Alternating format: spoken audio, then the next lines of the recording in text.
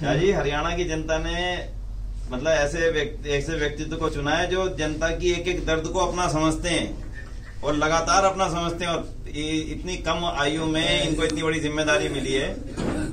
हाँ जी। वाह। बिल्कुल।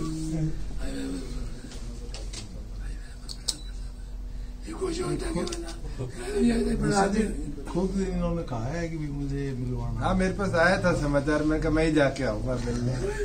हाँ सर ये तो